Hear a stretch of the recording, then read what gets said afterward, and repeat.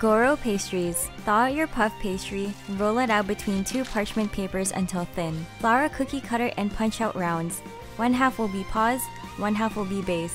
Make sure to pierce the base so it doesn't rise too much while cooking.